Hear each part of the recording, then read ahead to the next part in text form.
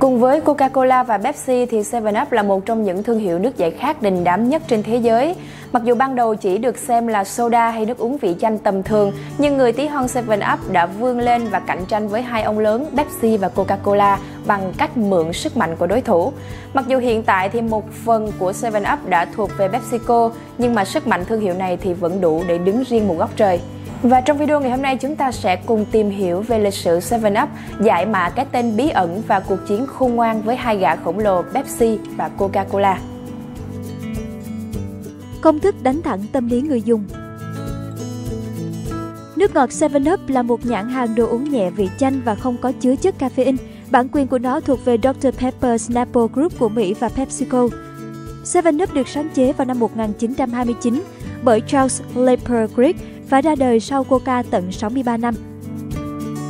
10 năm trước đó, Crick đã chế tạo một loại đồ uống có vị cam, có ga là Whistle, trong khi đang làm việc cho một doanh nghiệp. Do những trắc trở trong công việc, Crick đã rời khỏi công ty vào năm 1920 và thành lập công ty nước giải khát Howdy Corporation để làm ra một loại đồ uống có màu với tên gọi là Howdy. Howdy đã khá thành công khi là một loại nước giải khát nhưng nó đã không thể cạnh tranh nổi với Orange Crush, thương hiệu dẫn đầu trong lĩnh vực. Theo thời gian, Howdy đã để mất thị phần của mình vào tay đối thủ. Ngoài ra, các nhà khoa học thời điểm đó còn đưa ra những cảnh báo về nước cam. Họ muốn có những ly nước cam đúng nghĩa thực sự, chứ không phải là thông qua một công thức hóa học. Thay vì đứng nhìn công ty chết dần, năm 1927, Crick bắt đầu nghiên cứu và tung ra một loại soda chanh mới.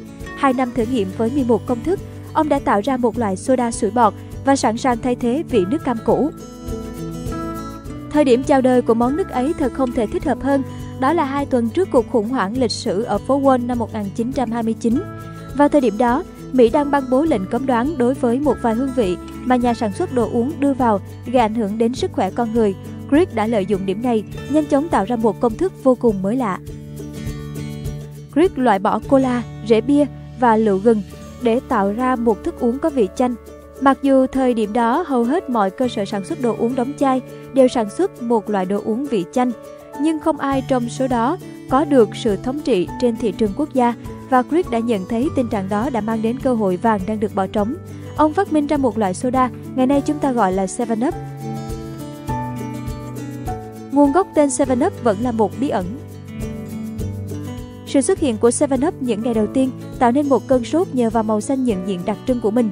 Hương vị chanh được biến tấu theo một phong cách độc lạ và mang đến một cảm giác vô cùng sảng khoái.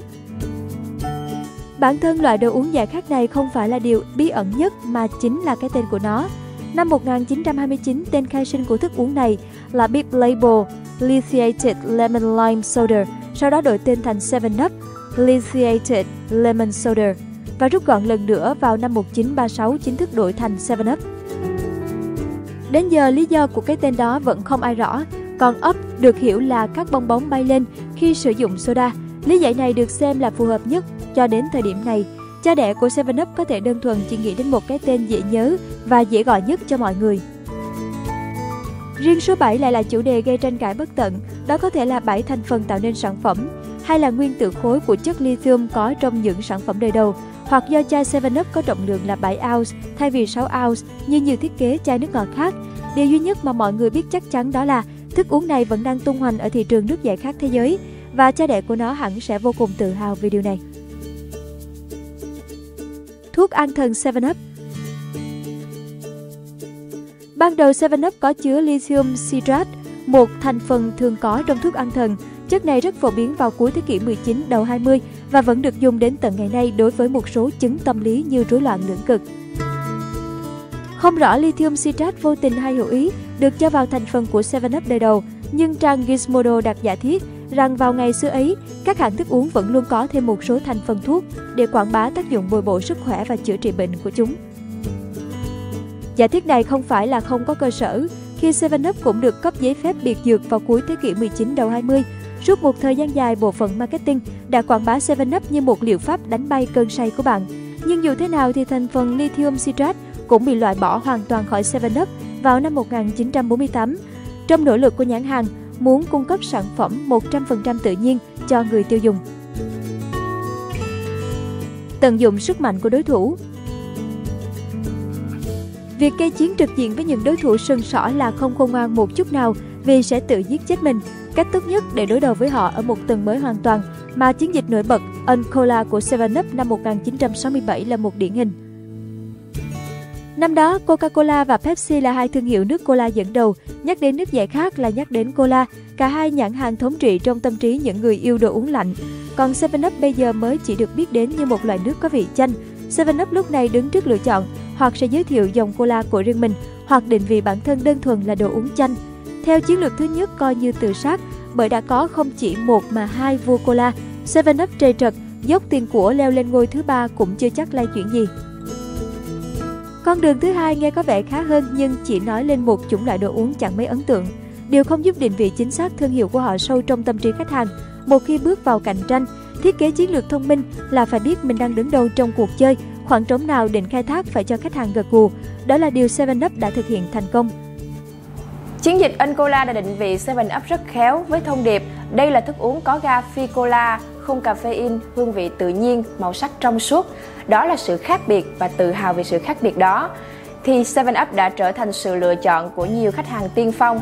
Và khi dựa hơi các ông lớn Coca-Cola và Pepsi thì 7up đã không mất quá nhiều thời gian và tiền bạc để xây dựng sự nhận biết thương hiệu và nhờ vậy thì hãng đã vươn lên vị trí thứ ba trên thị trường nước giải khát của Mỹ. Các bạn ơi, trước khi chúng ta xem tiếp video thì các bạn đừng quên là hãy tham gia mini game tặng 1.000 áo thun dành cho 1.000 fan của người nổi tiếng. Và thông tin chi tiết thì chúng ta hãy đọc bên dưới phần comment nhé các bạn. Xây dựng hình ảnh độc đáo Tiếp theo sau chiến dịch Uncola, 7up tung những poster quảng cáo màu xanh lá cây đặc trưng được phủ rộng khắp mọi nơi từ xe buýt cho đến các cửa hàng và siêu thị. Với màu sắc tươi mát trong lành, những poster này cũng tạo cảm giác nhà sản xuất muốn hướng về một hành tinh xanh, môi trường trong sạch. Điều đó lại khiến thương hiệu nước ngọt có ga này tạo thêm nhiều niềm tin yêu trong lòng của khách hàng. Vào năm 1987, trên thị trường bỗng xuất hiện hình ảnh một người đàn ông màu đỏ được in hình logo 7up, đeo kính mát màu đen hay còn gọi là Cool Spot. Bằng nhân vật này, 7up trở thành thương hiệu nổi bật nhất trong những năm cuối thập niên 80-90. Spot thậm chí còn xuất hiện trong một loạt trò chơi điện tử, đã phần nào cho thấy sự thành công trong chiến dịch quảng bá 7up. Đánh dấu 6 thập kỷ xuất hiện trên thị trường, mùa hè 2018, 7up quyết định đưa khách hàng quay trở về thời kỳ đầy hoài niệm của phong cách retro với anh chàng Fido Dido trong chiến dịch mới 7up Back to Cool. Bộ sưu tập mới của 7up gồm 6 thiết kế nhãn chai cổ điển, là sự nhắc nhở về kỷ niệm xuyên suốt 6 thập kỷ, bắt đầu từ những năm 1950 đến những năm 2000. Mỗi phiên bản đều lấy cảm hứng từ con người, văn hóa và xu hướng thẩm mỹ trải qua từng thập kỷ cụ thể. Chúng đều làm nổi bật triết lý của 7up rằng không có gì tuyệt vời hơn chính bản thân bạn, bất cứ lúc nào hay bất cứ đâu trên thế giới. Mỗi giai đoạn 7up đều thiết kế ra những poster quảng cáo vô cùng ấn tượng, mới mẻ và thú vị, đủ để khiến mọi người phải dừng chân ngắm nhìn thật lâu khi nhìn thấy nó. Chưa kể những chương trình khuyến mại đồng hành cùng giới trẻ đã tạo nên một trào lưu mỗi khi nhắc đến 7up. Có thể làm những điều đáng ngạc nhiên Ngoài tác dụng là nước giải khát tức thời, 7up còn có thể dùng làm nguyên liệu bánh. Với những đầu bếp tài giỏi, đây là nguyên liệu được sử dụng trong bánh nướng để làm bánh của bạn mềm mại và ngọt ngào hơn. Một vài thành phần có thể kể đến như bánh quy, bánh quy kem hay salad hoa quả. Tất cả đều trở nên đặc sắc hơn nhờ thứ nước soda chanh dịu ngọt này. 7up cũng là một trong những nguyên liệu dùng để tạo ra các món ăn có hương vị hấp dẫn, từ ướp thịt gà tây, thịt lợn cho đến tôm chiên. Nghe có vẻ lạ lẫm nhưng đây lại là những món ăn có hương vị vô cùng tuyệt vời. Ngoài ra, bằng việc trở thành nguyên liệu cho món kim chi, 7up bắt đầu chiến dịch mang tên Easy White Kimchi như một cách quảng bá thêm cho sản phẩm của mình. Sau đó, công thức này của 7up đã xuất hiện trên tạp chí Bad Appetite Magazine, tuy nhiên nó làm dấy lên nhiều cuộc tranh cãi. Một bên cho rằng việc 7up sử dụng món ăn truyền thống của Hàn Quốc để bán soda là không hợp lý, còn bên còn lại hoàn toàn ủng hộ, bởi một số gia đình ở Hàn Quốc vẫn thường sử dụng 7up hay các nước soda chanh khác làm nên kim chi. Grace Park, thành viên sáng lập Crazy Korean Cooking đã phát biểu rằng mặc dù kim chi kết hợp cùng 7up không phải một phong tục truyền thống, tuy nhiên với thế hệ trẻ hiện đại ngày nay, họ đã biết biến tấu để món ăn trở nên đơn giản hơn mà không làm thay đổi hương vị. Đặc biệt có thể hơi khó tin nhưng mà 7up đã từng được bán như một vị thuốc trị ho dành cho trẻ em. Tuy nhiên, theo khuyến cáo của các chuyên gia y tế, chỉ nên sử dụng 7up phù hợp bởi nếu sử dụng quá nhiều có thể gây nên các căn bệnh về đường ruột, tăng đường trong máu, mất ngủ do căng thẳng quá độ và về lâu dài sẽ bị tiểu đường. kết nối với khán giả trẻ tuổi. Trong khi trang chủ 7up luôn hiển thị một banner lớn, công ty lại khẳng định rằng trang web không phải là nơi tốt nhất để tìm kiếm thông tin. Nó cũng không được tối ưu hóa cho sự tương tác và nghiễm nhiên, mọi người phải lao vào tìm kiếm thông tin ở những nơi khác nhau. Chiến lược này của 7up rất thông minh, bởi vì trong khi bản thân nó cố gắng không cần phải PR, thì lại vô tình nhận được những sự chú ý từ người xem. Khi tham gia Twitter, chắc chắn phương pháp quảng bá sản phẩm hiệu quả nhất chính là tạo ra được càng nhiều tweet càng tốt. 7up cũng không nằm ngoài cuộc đua khi bắt đầu mọi việc với hashtag 7x7up và gắn liền nó với những sự kiện âm nhạc đình đám tại thời điểm đó, thay vì đưa nó lên chính trang chủ của mình. Dĩ nhiên, 7up đã thu hút được một lượng fan cùng tham gia, trò chuyện vui vẻ về những buổi biểu diễn nghệ sĩ và những album sắp phát hành. Điều này nhanh chóng tạo ra một trào lưu 7up trên Twitter và đội ngũ của họ cũng không mất quá nhiều thời gian để tạo ra nó. 7up không đầu tư mạnh vào kênh YouTube và đây được xem là một bước tiến dũng cảm của hãng.